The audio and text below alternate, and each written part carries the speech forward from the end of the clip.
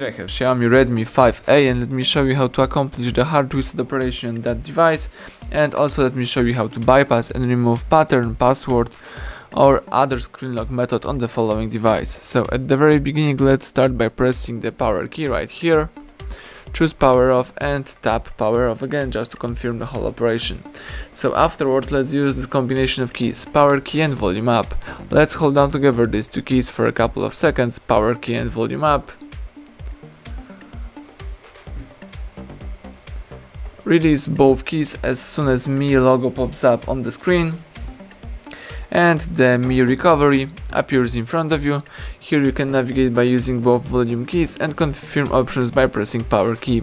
Let's scroll down to choose wipe data, press power button to confirm it, then select wipe all data, press power key to select it.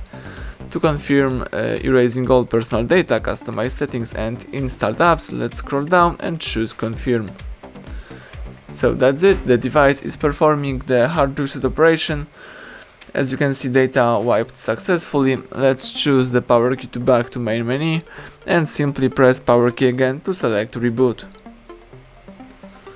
Tab reboot to system and the device is restarting and rebooting. Let's wait a couple of, of uh, even minutes until the welcome panel pops up.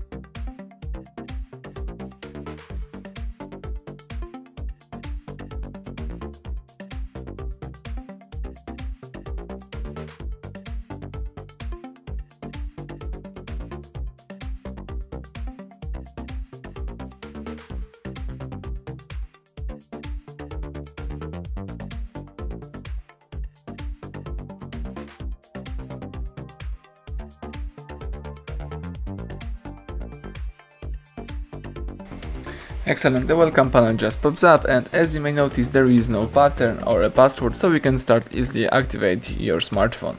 So everything went well, thank you for watching, please subscribe our channel, and leave thumbs up under the video.